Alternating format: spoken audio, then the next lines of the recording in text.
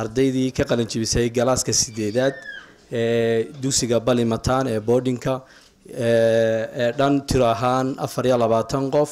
Afar iyo labaatanka qofba ay si fiican u gudbeen waxaana farxdin ah ama wax lagu farxo ah in sanadka dambena intaa in leegoo hablii soo bixi doonaan. Afar iyo labaatankana waa inamo afar iyo labaatan kaloo hablina soo bixi doonaan. Insha allah kuwaana waan u diyaargaroobi doonaa iskuulka balimataan qoton dabo waxaan ku darnay macalimiin la guneeyo. Kolley dee nahdaa naga ugu awood badanoo hawsha wada laakiin anaguna intii karaankayga berigaa waan ku darnay. Dugsiga labaad dugsiga dugsiga waxaan ku darnay galaasyo oo gudiyadii xiliyada markii la aasaasay galaasyadoodii weli way taagan yihiin. Iminka waxaan u sidnaa anigoo waqtiga soo koobaya abaalmarin shanta arday ee ugu sarreeya oo iskugu jira diini maadi iyo macnawiyan labadaba. Waxaan u tagnay iyadoo ardaydii sannadkii ugu horreysay sideed arday tahay sagaal arday oo aanay gaadhin inta lagaga dhigo goob imtixaan. Guddoomiyuhu aad iyo aad buu ugu mahadsan yahay isaga iyo dhammaan mas'uuliyiinta iyo shaqaalaha xafiiska imtixaanaadku. Marka imtixaankii ardaydii halkan ku gelisay waxaa lagu daray oo ku jiray ku bushqada lagu cabeeyey ama lagu daray ardayda salaxlay. Si gaaraan ugula hadalay waxaanu ku halkaa ardaydaasi yaryar way ku adkaanaysaa guddoomiye may gaadhin intii lagu talagalay waanu ognahay laakiin waxaan idinka doonaynaa inaad xal keentaan oo ardaydaasi aad goob imtixaan goobtooda uga dhigtaan imtixaankana halkii laga qaado. Xafiiska imtixaanaadku wuu garwaaqsaday iyadoo aanay sharcigoodii ahayn ayuu haddana sameeyey sacrifice. Uu u samaynayo ardayda yaryar in goobtoodii imtixaanka laga qaado. Aad iyo aad ba waan igu mahadsan yihiin. Xafiiska muxuu ahaa guddoomiyaha waxbarashada degmada cabdirasaaq khadar warxirsi intii aan ka wada shaqaynay runtii waxay ahayd guul. Sidii bay goob ku tahay ilaa hadda maanta afar ardaydan waa afar iyo labaatan arday. Wax ka dhacay ma laha wax hooseeyeyna ma laha. Afar boqol iyo laba iyo lixdan ayuu ardaygii ugu hooseeyey uu keenay. Marka iyaguna way dadaaleen. Annaguna runtii waa u dadaalay waxa kalaatan ka doonaynana waxa weeye mahadnaq maahe. Waa inay dadaalkii annaga waxay nagu wax nagu qaban karaan. Dadaalkaasay sii labanlaabaan oo maalmaha dambe sanadada dambe ay noqdaan kuwa dalka ugu sarreeya insha allah. Maanta waxaynu joognaa ubaxa yaryar ee degmadu leedahay munaasabadii lagu maamuusayey afar labaatankii arday ee ka qalin jabiyey dugsiga hoose dugsiga dhexe ee galaaska sideedaad ee degmada balimataan ee natiijada fiican ee horumarka iyo waxbarashada iyo tiknolojiyaddu ka muuqdo keenay. Marlaba marka koowaad mar walba waxa mahad leh amba bogaadin leh ardaydaas dadaalka muujisay macalimiintii maamulkii iyo kaalinta koowaad waalidkii dadaalkaa geliyey ayagana waa bogaadinaynaa waxaanu leenahay aada iyo aad ayaa magac iyo sumcad iyo waxbarashaba ugu soo kordhiseen degmadii degmada balimataan way ku astaysantahay waxbarashada. Marka loo eego degmooyin ka qadiimsan amaba degmooyin ka facweyn falilaahi alxamdu waa degmo waxbarasho waa degmo shan boqol oo arday ku dhowaad subaxii ka soo toosaan gudaheeda. Hadday iskuul sare iyo iskuul hoose iyo boarding iyo malcaamadba noqoto. Marka loo eego meeqaamkeeda iyo intay jirtay iyo tacliinteedu heerku koray waa wax lagu farxo aada iyo aad. Runtii aada iyo aad ayay noo soo jiidatay ka soo qaybgalka munaasabadani maadaama ay buuxiyeen ardayda iyo macalimiintoodii ku soo tabacday. Kaalin waxa wasaaradda waxbarashadu ay u baahnayd oo ardaydii dugsigaasi ku jirtay.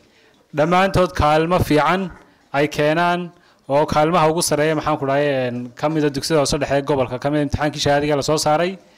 Markaa in la tahniyadeeyo oo la bogaadiyo ayay munaasabaddeena daaran tahay. Qofka bani aadamkii markuu wax qabto haddii aan waxa weeyaan aan la xusin oo aan loo mahadnaqin de waxa weeyaan dadaalkiisu waa yaraanaya. Marka maanta munaasabadeenani waxaa loo qabtay in macalimiintii ay ogaadaan in la berber taagan yahay dadaalkana ay halkaa ka sii libanlaabaan beritoole haddii ilaahay idhaahdo ka maalinna haddii kaalintaa iyo kaalin ka wanaagsan ay keenaan in munaasabadda munaasabad ka ballaadhan loo qaban doono. Ardaydana waxaan leenahay waxaad dhammaysteen maanta waxbarashadii aasaasiga ahayd weeyi. Guriga aynu fadhino waa seeska halkii ugu horreysay mayn maanta ayay taagantihiin waxbarashada inaad halkaa ka sii wadaan. Dadaalkaa la idigeliyey ee waxa weeyaan waxgaradka deegaanka iyo waalidiintiin iyo wasaaradda iyo qarankuba ay idigeliyeen inaad halkaa ka sii wadaan oo aad ka sii labanlaabtaan oo intiina maanta la leeyahay dhibco fiican bay keeneen. Afar sannadood haddii ilaahay idhaahdo ninkuu ilaahay gaadhsiiyo imtixaan kale shahaadiga foomfoorka aad ka dhex muuqataan baa laydinka doonayaa.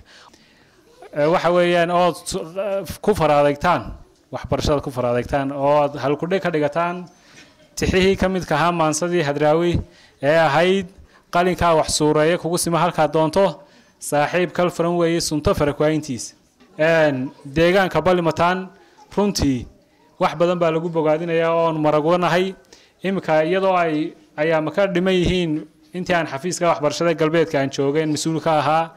Waa markii labaadeen halkan imaado maalinba cibro iyo wadajir deegaankan degmadan ay muujiyeen. Maamulkeyga iyo shicibkeyga iyo iyo waxgaradkeyguba ayaa runtii kaaga kordhaya.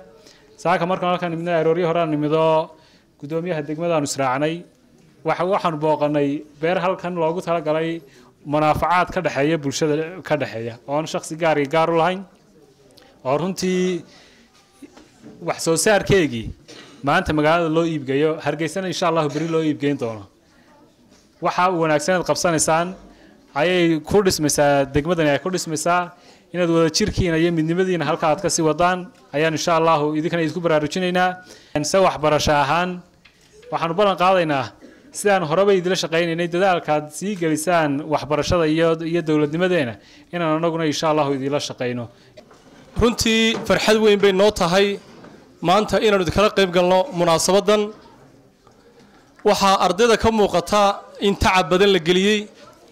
Ardayda laftooda waxaa ka muuqata inay iyaguna dadaal badan muujiyeen. In arday meel ka baxsan magaalada hargeysa wax ku baranaysa oo dhammaantood imtixaankii baasay. Runtii ardayda aad iyo aad baan runtii ugu bogaadinayaa waxaan sidoo kale aad iyo aad runtii ugu mahadnaqayaa jamciyatu nahda. Tacabkaa ay geliyeen waxbarashada ay ka shaqaynayeen muddada dheer dowladnimadu runtii ma aha in ay dowladdu keliyaata un wax hayso ama hantiya hayso ama wax bixinayso ama fikirka ay culintiisa iyadu dowladdu leedahay. Habase ahaatee dowladnimadu waxa weeye waa iskaashi. Iskaashi bulshada iyo dowladda oo iskaashada ayaa meel wacan la gaari karaya. Aragtidan wanaagsan ee ballimataan laga keenay runtii waxay tusaale u tahay dhammaan degmooyinka gobolka iyo somalilan bay tusaale wanaagsan u tahay. Waxbarashadu runtii muhiim bay u tahay nolosha bani aadanka wasaaradda waxbarashadu siyaasad cad ayuu qarankeennu ka leeyahay maanta in dhammaan daayarta ama dadka waaweyn wax la barto. Dowladdu aad iyo aad bay u dhiirigelinaysaa. Iminka waxaa jirta dowladdu inay dabagal badan runtii ku samayn doonto waxbarashadii horumarin badan lagu samayn doono oo siyaasadda wasaaradda waxbarashada sidaasa. Gobol ahaan runtii waanu kala qayb qaadan doonaa wasaaradda. Ardayay idinkana waxaa la filayaa haddii ilaahay idmo inaad dib ugu soo celin doontaan. Wixii la idin geliyey degmadaad ku soo celin doontaan gobolkaaad ku soo celin doontaan bulshadiina reer somalilan guud ahaan aad ku soo celin doontaan. Waxaan ugu horreyn ilaahay u mahadnaqaya ilaahay subxaanahu wa tacaala. Marka labaad waxaan bogaadinayaa ardayda halkan maanta xafladda loogu qabtay oo guulo wax ku-oola ka soo hoyiyey imtixaankii wasaaradda waxbarashadu ka qaaday dugsiga hoose dhexe. Aad iyo aad baan runtii u bogaadinayaa waxaa kaloo runtii aan ku faraxsanahay in kalaaska soo socda ee sanadka dambe gelaya ay wada habla yihiin. Waxaanan leeyahay hablaha waxaa laga doonayaa inay halkaa inamadu ay dhigeen ay ka sii sarraysiiyaan oo ay weliba sii dheeraysiiyaan inantii somalilan ugu sarrayn layd waxbarashada dugsiga hoose dhexe inay ballimataan ka soo baxdo. Aad baan ugu keenaya waxbarashadu waa baahida bini aadanka sida qofka bini aadankii ugu baahan yahay cunto iyo hooy meeluu seexdo ayuu waxbarasho ugu baahan yahay. Waxbarashaduna mar wal oo ay xagga hoose joogto ayay ka baahi badan tahay. Tusaale ahaan ballimataan maanta waxaa laga yaabaa in laga helo boqol iyo konton arday oo kalaaska uulada fadhiisanaya ayaa laga yaabaa in laga helo. Ama ay ku dhadhawaato. Haddii la ysiraa arday jaamacad gelaysaha laga raadiyena waxaa laga yaabaa saddex iyo labaatan kaa qalinjabiyey oo secondariga haddana shan kale ka sii hadheen in jaamacadda markay qalinjabinaya ay shan ka qalinjabiyaan baa laga yaabaa. Marka waxaan eh, hay'adda alnahda madaxdeeda khadar iyo guddida horumarinta ballimataan ku dhiirigelinayaa had iyo jeer qofku markuu dadaal keeno oo uu wax badan qabto wuxuu siraa ka sii badi haddaad ilaa jaamacad waxa kaa baahaya skoobkii waxaan is haddaa iskuul hoose oo uula ka bilaabmay ilaa secondary ku mitidaan oo deegaankan dee miyiga ah ee hargeysa ka fog ka samaysaan iyo degmadan. Marka waxaan idin odhan lahaa waxba jaamacad ha isku sii qaadina waxay isku daydaan. Uulo ilaa secondary taya leh oo somalilan tusaale u noqda inaa halkan ka samaysaan Een, dadweynaha reer ballimataan dhammaantiin xoolo dhaqata ahaydeena maalin horena halka waynu ka hadalnay wakhtigii xoolo dhaqashanimadu way soo dhammaatay. Boqol halaad iyo laba tiro adhiya in la daba socdo waa iska gebagebo. Dhulkiina waxa weye waa iska soo koobmay. Aad iyo aad baan maamulka degmada iyo guddida deegaankaba ugu dhiirigelinayaa oon ugu bogaadinayaa tacabkaa yare beerahee ah halkaa ka bilowdeen ee soo saarteen. Noloshiinnu waxay u socotaa beeraley bay u socotaa iyo inaad degtaan. Oo qofkii xoolaha ka baxay oo dhulka wax ka soo saaro oo taa laydinku caawiyo oo xirfad laydinka siiyo xoolahana laba neef ama saddex baa idinku filan ashaha ku cadaysataan boqolkii halkan intoo laga kaxeeya hawd la geyn jiray. Tacab waxaanayn kamaynaa soo gaadhay qarniyo waa garanaysaa dhibaatadiinu kala kulannay waxaa tusaale ku dayasho idii ah degmada gabiley oo maanta waxbarashadii dugsiga sare ay uga baxeen shan boqol iyo toddobiyo toban arday. Halkaas baa tusaale wanaagsan inoo ah. Waa dad beeralaya oo degay oo dadaalay oo tacabkoodii la soo baxay oo carruurtoodiina iskuulka geeyey. Waxaa la rabaa wixii wanaagsan in lagu kala daydo. Inaad ku dayataan baan doonaynaa degmada gabiley oo balli mataana ay noqoto gabileyda hawdka ay noqotaan doonayna insha allahu tacaala. Waxyaabaha kale idinka- waxyaabaha kale idinka dhiman ee baahiyaha aasaasiga ah ee degmada ka dhiman ee dowladnimada uga dhiman.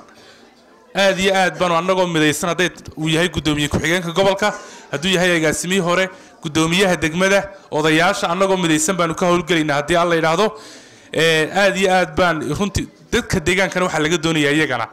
Qurba joogga ha ugu horeeyo dadka magaalada degan ee ballimatan aslan ka soo jeeda qolada degan populationka iyo mujtamacana waxaa laga rabaa iyagana dadaalka qaybtoodii baa laga rabaa. Si degmada ay u noqoto degmo kolleyba xawaaray ku socotay.